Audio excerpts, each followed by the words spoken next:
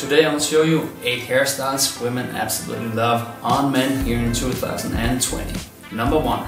The quiff. You already know it as the side swept hairstyle. I'm rocking it almost every single day. Think it's easy. You can have a textured quiff, you can have a fine if you comb it back. There's a lot of styling opportunities here. I'll also recommend that you style your quiff with a lot of heat, so use a hairdryer and a hair tool. Could be the skeleton brush or the 9 row brush. Number 2 the slick backed undercut. In my opinion, it's a great haircut. It's very characteristic and it's usually one length at the sides. However, I think that it's better to fade it, so you can go with zero millimeters, or you can go with uh, three millimeters to around one centimeters, and then it's still a disconnected undercut. I think it looks great. It gives you a little bit more definition. The slick backed undercut looks a little bit more refined which I think is nice. I don't know where it started, but I know we had it in Denmark for 10 years ago, and I know it has been extremely popular around the globe. And right now it's one of the most replicated hairstyles on YouTube. And to hairstyle number three, the buzz cut. Also known as the quarantine haircut. It's where you take and chop off all your hair with, let's say, a half centimeter or a little bit less. Then you have a super nice and fresh haircut. For me, I'll say I'll not recommend it because I think a real buzz cut needs to be faded inside so it looks even sharper. Hairstyle number four, messy curls. It's not everyone who can make it. If you don't have any curls in your natural hair structure, then it's very difficult to do. I can do it if I have towel dried hair and I apply some pre-styling and a little bit of wax and then wrap it in and then I can actually bring the natural curls to life. For me it's a little bit younger hairstyle, it's a little bit more unformed but it's actually super cool. Number 5. Spiky texture hairstyle.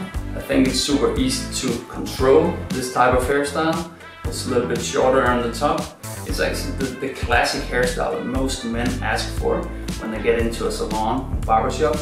Short on the sides, and a little bit longer on the top. To describe the hairstyle, we have uh, made the David Beckham uh, wedding hairstyle. I think that's actually a super great one. So check that one out. And to hairstyle number six, Pompadour. You already know it. It's a little bit more of a rock and roll hairstyle. You have a little bit more oily product or shiny, and then you comb it back and it has this fine structure. It's just an all-time classic one. You just have to pull it off right. Hairstyle number seven, the side part. I'll say it's a little bit inspired from the 70s. You can see it on most Mad Men hairstyles. I'll say in my opinion that it's a, definitely a hairstyle you should go for. You have to make the sides really sharp. And as well, we have um, a great hair tutorial on that one here on the channel. The last one, number eight, the short crew cut. I think for myself, I got this, it was a mixture between a crew cut, I think, and maybe a buzz cut. I'm not quite sure. I got it in August, and you can see it if you check this here. I think it was one of the greatest um, experiences for me because it was about six years ago since I had short hair last time. So very nice to mix and try something new sometimes, once in a while. You need to maintain a crew cut every single week if you want it to look super sharp. Alright guys, please comment down below which one of the hairstyles you like the most. And as always, you can win free by Vilain hair products. See you next time guys.